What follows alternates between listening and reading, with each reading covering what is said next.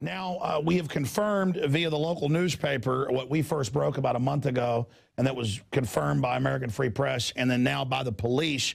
The Watford Observer is reporting that's a suburb, quasi-rural suburb uh, in northwest London, or northwest of London. Police confirmed Bilderberg 2013 to take place in Watford, UK.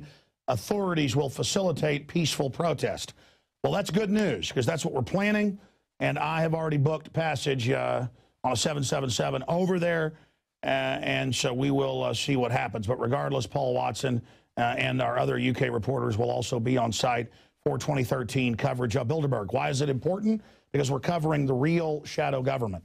We're covering the Logan Act being violated. We're covering these globalists that literally feed at the trough of government bailouts uh, and too big to fail and insider deals we are exposing what they're up to. I mean, just uh, two years ago in Switzerland, they had Zuckerberg and the head of Google, Schmidt, and others, and we said, watch, this is about them getting political cover from European and U.S. elites to be able to carry out a criminal pump and dump uh, with Facebook.